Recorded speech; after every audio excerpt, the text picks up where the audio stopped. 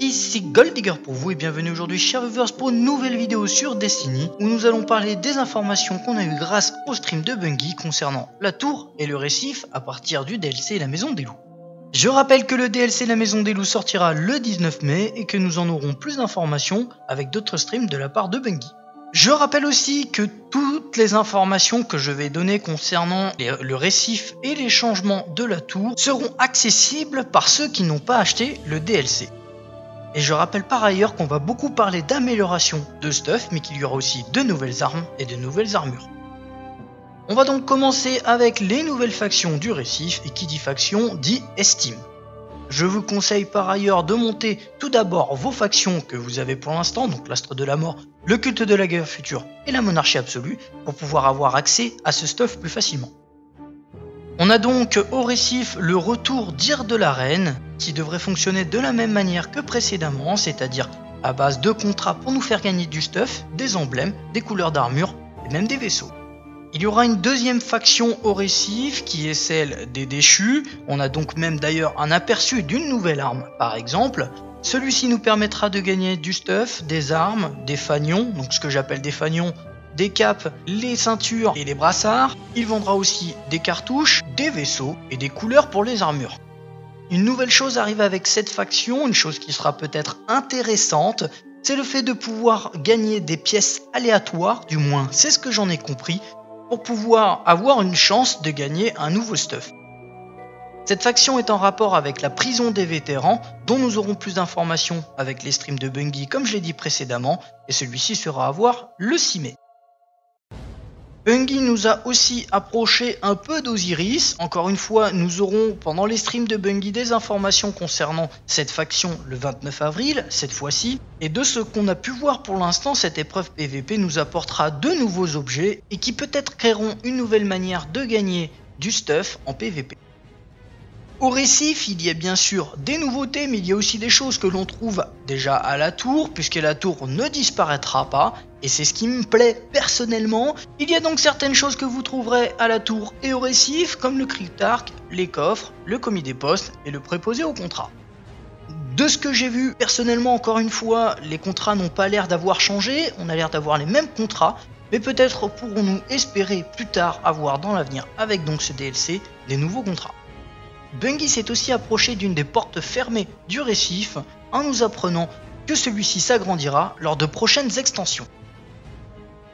Nous en avons terminé avec le récif, c'est vrai que les informations sont quand même importantes, même s'il n'y en a pas tant que ça, et vous allez voir que, comme moi, vous serez certainement très surpris avec la tour. Nous sommes donc à la tour et nous en avons appris sur les améliorations des armes et du stuff. Mais on va tout d'abord commencer avec le guide qui lui aussi a son lot de nouveautés. Le guide nous permettra maintenant d'acheter, de vendre ou d'échanger des matériaux. Quand je parle de vendre, c'est tout simplement le fait que nous pouvons échanger des matériaux contre des lumens, ce qui revient bien sûr à vendre. Pour être un peu plus précis avec ce guide, vous avez par exemple la possibilité d'échanger un matériau contre un autre, donc par exemple un éclat d'ascension, contre une énergie d'ascension pour 50 lumens. Vous pouvez aussi acheter une particule de lumière contre deux éclats d'ascension par exemple. Nous allons rester à la tour et vous allez voir que celle-ci n'est pas dépourvue de nouveautés. Les factions de la tour nous apporteront des nouveautés puisqu'elles nous permettront d'acheter de nouvelles armures et de nouvelles armes. Les armures que nous achèterons aux factions auront 36 de lumière et pourront donc nous faire monter de base au niveau 32. Comme tout le stuff légendaire, elles auront la capacité d'être améliorées. La question est de savoir si elles nous feront évoluer au niveau 34 ou au niveau 33. Personnellement, je pense que c'est niveau 33, à vous de me dire ce que vous en pensez dans les commentaires. Les factions nous vendront donc aussi des armes légendaires qui auront de base 331 de dégâts et qui pourront être évoluées à 365. Les armes et les armures pourront être améliorées de la même manière c'est avec un nouveau matériau, la lumière éthérique, qui se gagnera en nuit noire, en épreuve d'Osiris, en bannière de fer, en prison des vétérans et pourquoi pas en raid. Je rappelle donc, comme je l'ai dit précédemment, que toutes les armes légendaires pourront se monter à 365, y compris celles qui ne font pas partie des raids, à savoir celles des factions. La lumière éthérique nous permettra donc de monter le stuff légendaire, comme je l'ai dit, et quand on parle stuff légendaire, on parle aussi du stuff du raid. Toutes les armures que vous avez gagnées ou que vous gagnerez donc lors du caveau de verre ou de Cropta nous permettront de monter au niveau 34 avec je crois 46 de lumière. Les armes pourront se monter aussi, je vous donne un exemple, la grande faucheuse, la parole de Cropta seront des armes qui pourront monter à l'aide de la lumière éthérique à 365 de dégâts. J'espère donc que vous avez gardé vos armes et votre stuff du caveau de verre. Personnellement, je n'ai gardé que les armes. Dites-moi dans les commentaires ce que vous avez gardé. Je fais un petit rappel encore une fois sur une nouveauté, c'est-à-dire l'amélioration des armes et des armures. Certains ne sauront peut-être pas poser la question, mais cette fois-ci nous n'aurons pas besoin de Xur. J'explique simplement, lorsqu'on montait précédemment des armes ou des armures exotiques, nous avions forcément besoin de Xur. Dorénavant, vous n'aurez besoin que de votre matériel pour améliorer votre équipement. Et nous aurons à la tour aussi quelqu'un qui ne servait à rien et qui bientôt deviendra un nouvel élément important. Je parle de l'armurier qui nous permettra de faire le reforgeage des armes. Alors qu'est-ce que le reforgeage des armes? Je vais vous l'expliquer, mais avant ça, une petite précision, les armes qui pourront être reforgées seront seulement les armes du DLC. Personnellement, je trouve ça pas si mal, parce que euh, je rappelle encore une fois que toutes les personnes qui n'auront pas le DLC auront accès à tout ceci jusqu'à maintenant, ce qui me permettra quand même de créer une différence entre les personnes qui ont payé et celles qui ne l'ont pas fait. C'est encore une fois un avis personnel, vous pouvez toujours donner le vôtre dans les commentaires. On revient donc sur le reforgeage des armes, c'est tout simplement la possibilité de changer aléatoirement les atouts et l'élément de votre arme. Je vous donne un exemple, comme vous le voyez en image, une arme abyssale peut donc passer en cryo électrique ou en solaire. Ces atouts seront aussi d'ailleurs changés aléatoirement. La petite chose à laquelle il faut faire attention, c'est lorsque vous reforgerez vos armes, les compétences seront remises à zéro. Il faudra donc améliorer votre arme depuis le début, ne vous inquiétez pas, l'armurier nous vendra des télémétries. Je rappelle pour ceux qui ne connaissent pas, les télémétries sont tout simplement des objets qui nous permettent d'améliorer plus rapidement nos armes. Ce reforgeage n'est pas gratuit, il se fera contre une particule de lumière, 3 pièces d'armes et des lumens. Et pour ceux qui seront dit des pièces d'armes Oui, bizarre, effectivement, les pièces d'armes seront maintenant utiles. Pour tous ceux qui en ont des milliers, bonne nouvelle concernant les armes exotiques, elles monteront à 365 et on dit bien toutes l'exégèse de Vex comprises. Les armes exotiques se montent donc à 365, encore une fois Xur n'est pas nécessaire à l'amélioration, pour ça il vous faudra un éclat exotique, des lumens et des pièces d'armes. Une dernière chose que Bungie nous a montré concernant ces éclats exotiques, puisque du coup je suppose que la plupart vont en utiliser un bon nombre, ils se gagneront plus facilement puisque maintenant lorsque vous démantèlerez un élément exotique, vous n'en gagnerez pas un, mais deux. J'en entends déjà qui disent Mais pourquoi le Galahorn C'est comme ça, c'est les devs. Vous l'aurez compris, ces streams sont une grande source de nouveautés, mais ce ne sont pas les seuls, puisqu'une fois celui-ci fini, pas mal d'informations ont fait leur apparition. Je vous donne donc ces images concernant du nouveau stuff euh, qui est censé arriver à partir du DLC La Maison des Loups. Vous voyez donc ici une batteuse, un nouveau stuff qui a l'air d'être Osiris et qui est vraiment très joli, un casque qui a l'air d'être un casque d'arcaniste. Je sais pas pour vous mais ça fait tellement d'informations que moi ça me rend chèvre. On continue avec cette espèce d'arme, on ne sait pas ce que c'est. À noter que cela n'a pas l'air d'être un lance-roquette, puisque le personnage a déjà un lance-roquette sur le dos. On voit aussi du nouveau stuff qui a déjà été présenté lors du stream. Et pour finir, une arme qui s'apparenterait être une arme exotique, un fusil à pompe, il me semble, du prochain DLC. Et avant de vous laisser, voici deux dernières belles images qui donnent envie. J'espère donc que cette vidéo vous aura plu, j'espère qu'elle aura été complète et que je n'aurai rien oublié. Je vous dis à très bientôt pour de nouvelles informations concernant les nouveaux streams de Bungie et peut-être même d'autres avant. Je vous dis merci d'avoir regardé, n'hésitez pas à en parler à vos amis, à liker la vidéo et à venir voir les liens dans la description. Pour ma part, je vous dis amusez-vous, prenez soin de vous, patientez, mais pas trop. A bientôt, et ciao bye bye.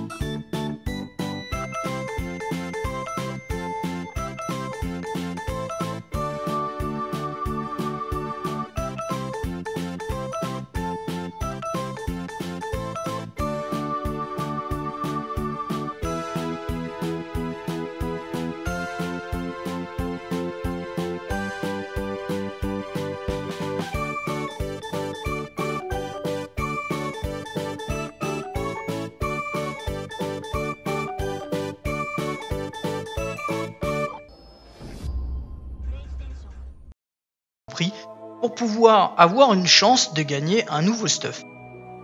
Cette faction est en rapport avec la prison des vétérans, dont nous aurons plus d'informations avec les streams de Bungie comme je l'ai dit précédemment, et celui-ci sera à voir le 6 mai.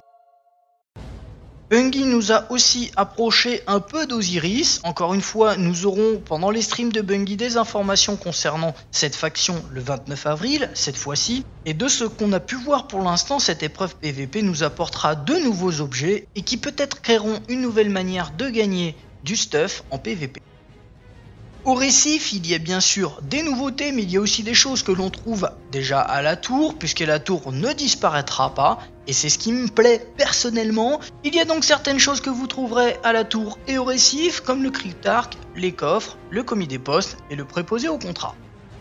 De ce que j'ai vu, personnellement, encore une fois, les contrats n'ont pas l'air d'avoir changé, on a l'air d'avoir les mêmes contrats, mais peut-être pourrons-nous espérer plus tard avoir dans l'avenir, avec donc ce DLC, des nouveaux contrats. Bungie s'est aussi approché d'une des portes fermées du récif en nous apprenant que celui-ci s'agrandira lors de prochaines extensions.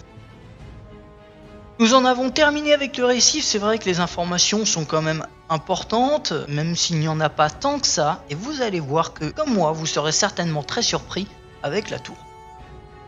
Nous sommes donc à la tour et nous en avons appris sur les améliorations des armes et du stuff. Mais on va tout d'abord commencer avec le guide qui lui aussi a son lot de nouveautés. Le guide nous permettra maintenant d'acheter, de vendre ou d'échanger. La lumière éthérique nous permettra donc de monter le stuff légendaire comme je l'ai dit. Et quand on parle stuff légendaire, on parle aussi du stuff du raid. Toutes les armures que vous avez gagnées ou que vous gagnerez donc lors du caveau de verre ou de Cropta nous permettront de monter au niveau 34 avec je crois 46 de lumière. Les armes pourront se monter aussi, je vous donne un exemple, la grande faucheuse, la parole de Cropta seront des armes qui pourront monter à l'aide de la lumière éthérique à 365 de dégâts. J'espère donc que vous avez gardé vos armes et votre stuff du caveau de verre. Personnellement, je n'ai gardé que les armes. Dites-moi dans les commentaires ce que vous avez gardé. Je fais un petit rappel, encore une fois, sur une nouveauté, c'est-à-dire l'amélioration des armes et des armures. Certains ne sauront peut-être pas poser la question, mais cette fois-ci, nous n'aurons pas besoin de Xur.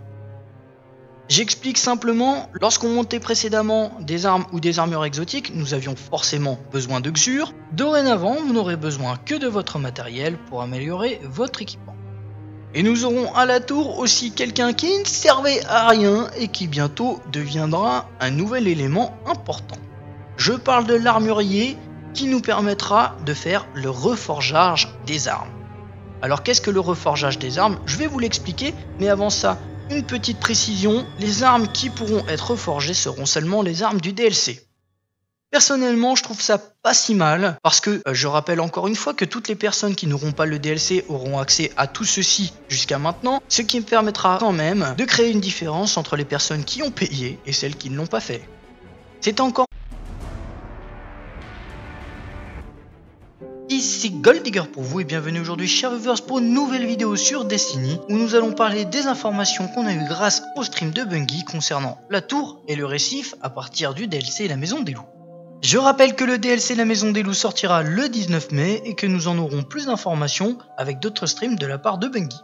Je rappelle aussi que toutes les informations que je vais donner concernant le récif et les changements de la tour seront accessibles par ceux qui n'ont pas acheté le DLC.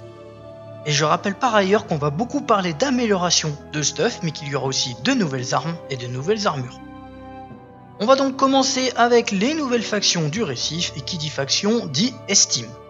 Je vous conseille par ailleurs de monter tout d'abord vos factions que vous avez pour l'instant, donc l'astre de la mort, le culte de la guerre future et la monarchie absolue, pour pouvoir avoir accès à ce stuff plus facilement. On a donc au récif le retour d'Ir de la Reine, qui devrait fonctionner de la même manière que précédemment, c'est-à-dire à base de contrats pour nous faire gagner du stuff, des emblèmes, des couleurs d'armure et même des vaisseaux.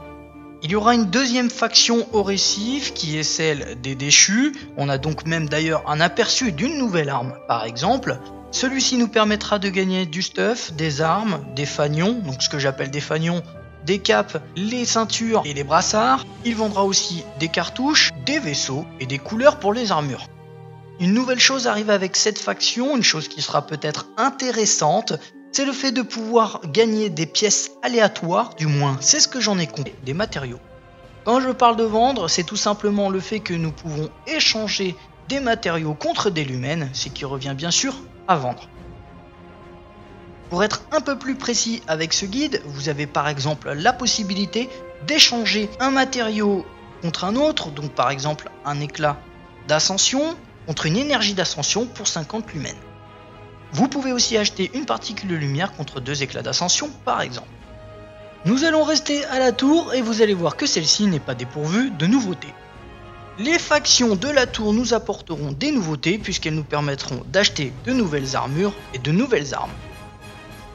Les armures que nous achèterons aux factions auront 36 de lumière et pourront donc nous faire monter de base au niveau 32.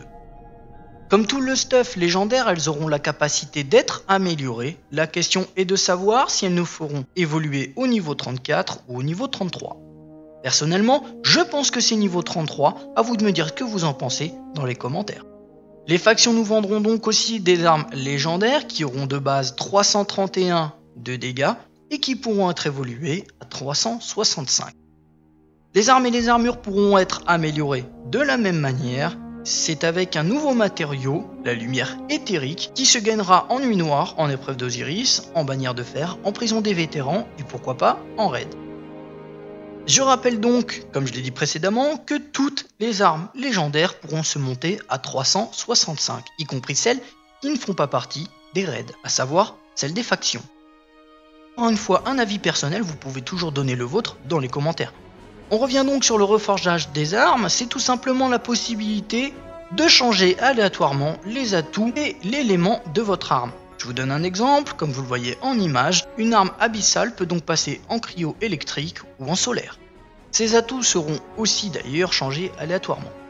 La petite chose à laquelle il faut faire attention, c'est lorsque vous reforgerez vos armes, les compétences seront remises à zéro. Il faudra donc améliorer votre arme depuis le début, ne vous inquiétez pas, l'armurier nous vendra des télémétries.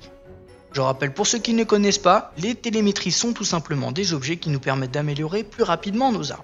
Ce reforgeage n'est pas gratuit, il se fera contre une particule de lumière, 3 pièces d'armes et des lumens. Et pour ceux qui seront dit des pièces d'armes? Oui, bizarre, effectivement, les pièces d'armes seront maintenant utiles. Pour tous ceux qui en ont des milliers, bonne nouvelle concernant les armes exotiques, elles monteront à 365 et on dit bien toutes l'exégèse de Vex comprises. Les armes exotiques se montent donc à 365, encore une fois Xur n'est pas nécessaire à l'amélioration, pour ça il vous faudra un éclat exotique, des lumens et des pièces d'armes. Une dernière chose que Bungie nous a montré concernant ces éclats exotiques, puisque du coup je suppose que la plupart vont en utiliser un bon nombre, ils se gagneront plus facilement puisque maintenant lorsque vous démantèlerez un élément exotique, vous n'en gagnerez pas un, mais deux. J'en entends déjà qui disent Mais pourquoi le Galahorn? C'est comme ça, c'est les devs. Vous l'aurez compris, ces streams sont une grande source de nouveautés, mais ce ne sont pas les seuls, puisqu'une fois celui-ci fini, pas mal d'informations ont fait leur apparition.